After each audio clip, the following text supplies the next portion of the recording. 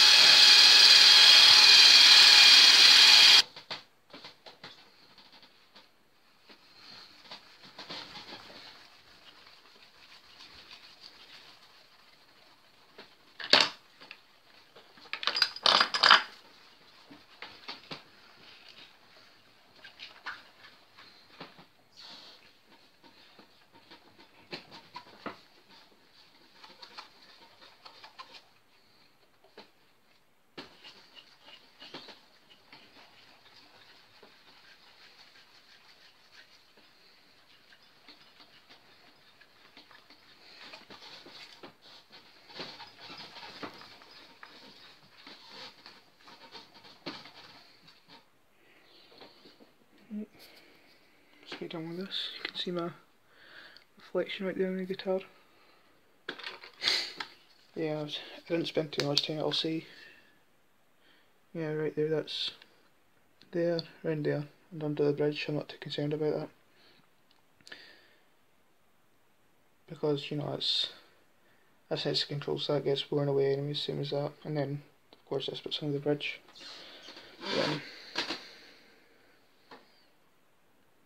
Transition here. It's a lot better than it was because this, this was literally just like a big dull patch. So I am really pleased with that. All I did was just um, brown buffing compound on a stiff wheel, some blue compound on a, a soft wheel, and then just rub it back with T-cut scratch remover. Right, next part Thing's getting a new bridge.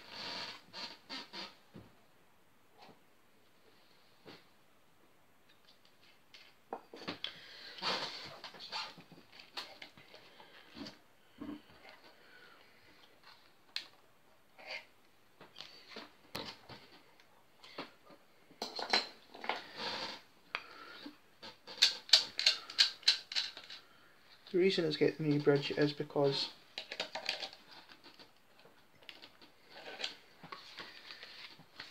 hold on.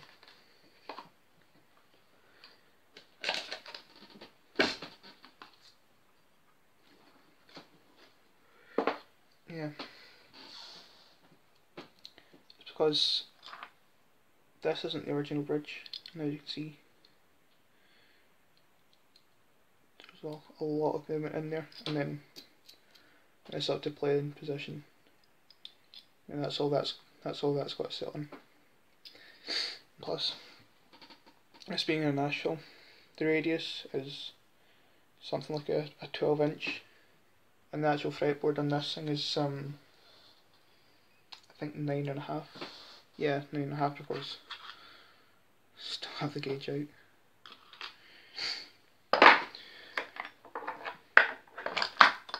And then this uh, ABR styles. I think it's a 10 but anyway that'll go in there. And that'll be good to go me good thing is these studs are really similar dimensions so it should just be straight yeah, just like that. Although I am a little bit concerned because I genuinely have no idea where the ground wire is. I think it's there. But it's been so long since I've taken this guitar apart and considering I've not had any grounding issues, you know, that doesn't bother me too much.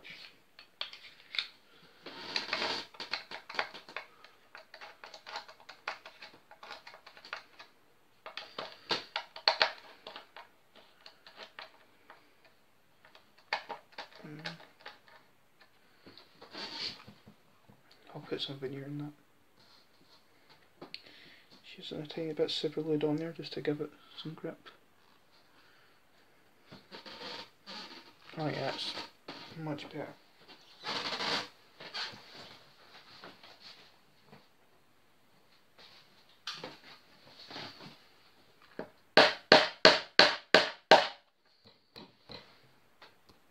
Again, just cut a wee sliver off.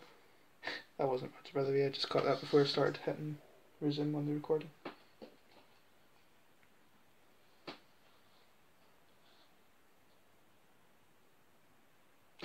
I'll dabble do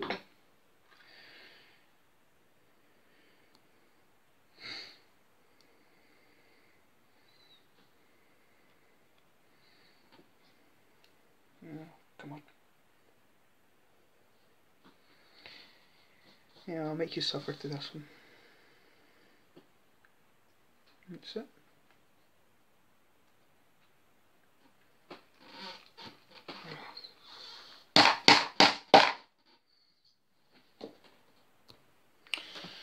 Next up's just a little high fret.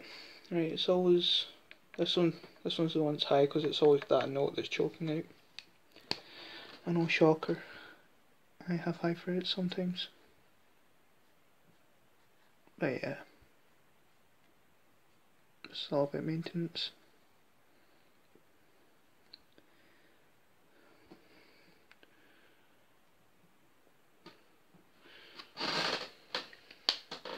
I'll just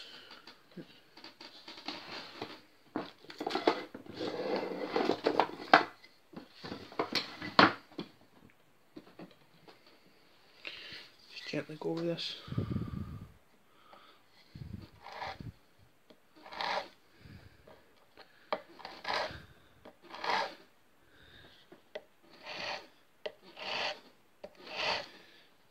Yeah.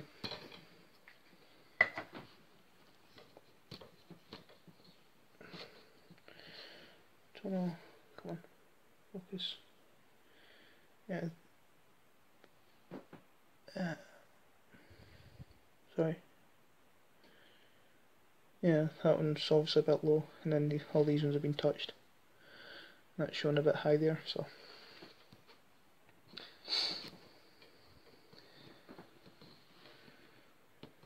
Keep going just a little bit.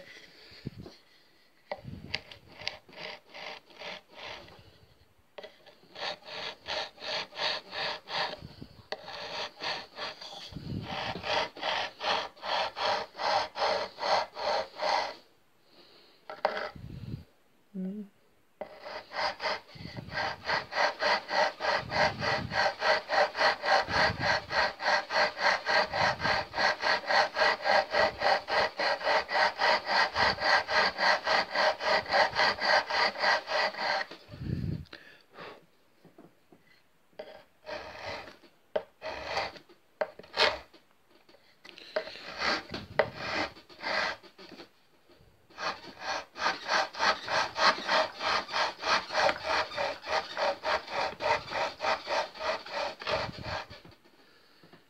to take that right to the edge there, so. That's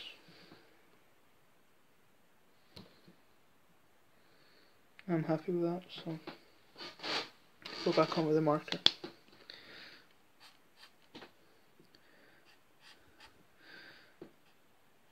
I'd take off a lot more than a lot more this way than I wanted to because it really was only the E string but that's just kind of A and B.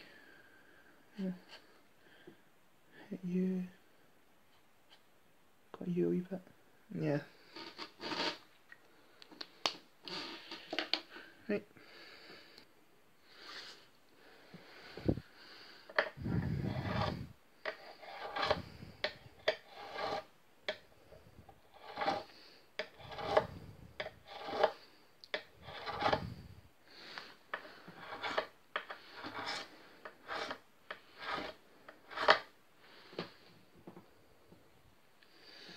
These Gurion files are really fast. Love them. Right, so that's them all done. Just to do a bit more clean up. Yeah, again, this is this is one of my guitars. I'm not not one to spend too much time on it.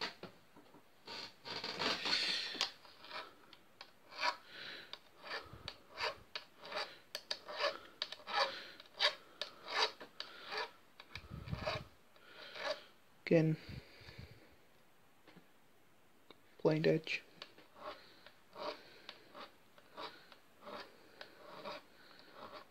So it's not marking up the, the fingerboard.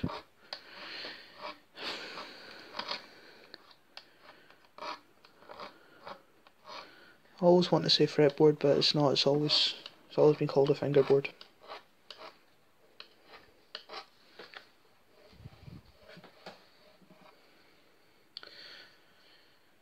Course, fretboard makes sense to us guitarists because frets board. Oh.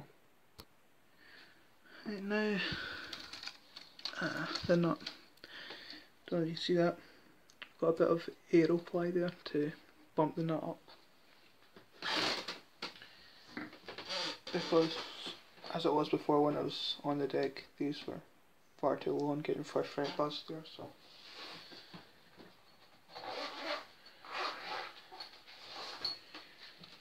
Up and got it ready.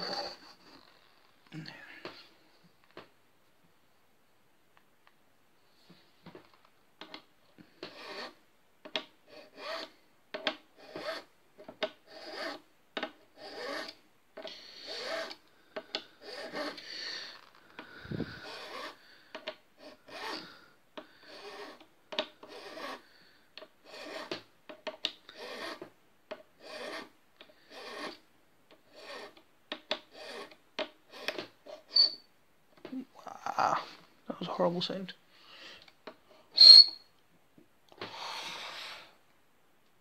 I won't make you suffer. Shaping the nut after cutting the slots.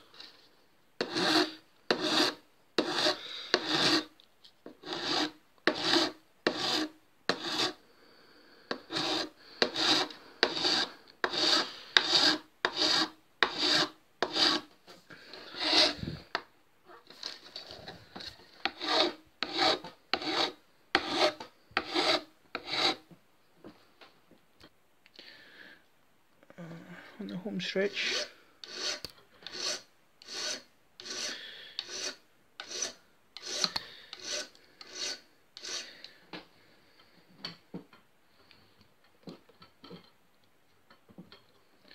Really like this wee file.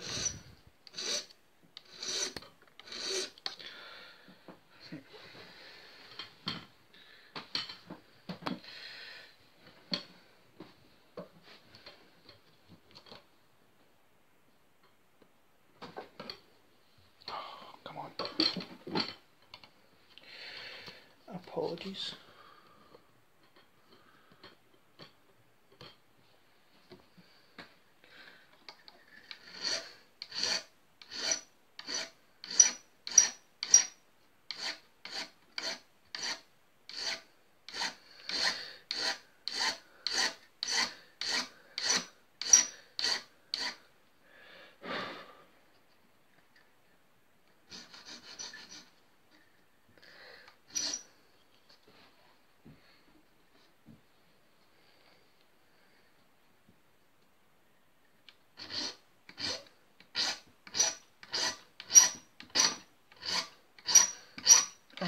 God. Nails on a chalkboard right there. I'm also going to switch filing devices.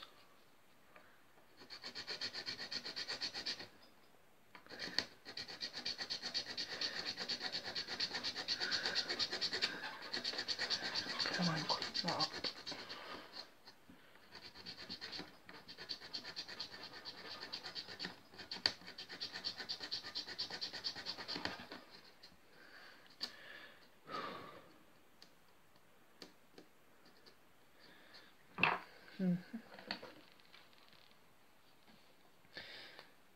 Always usable. Always faithful blind edge file.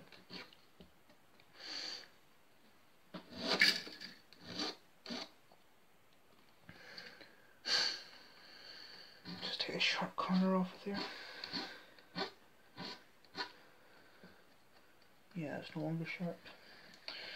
Right, just need to do that to the other side and that's the nut shape. I'm actually very pleased with that. Yeah. Your dad sells Avon. yeah. Actually, a little bit of a story behind this guitar. Um,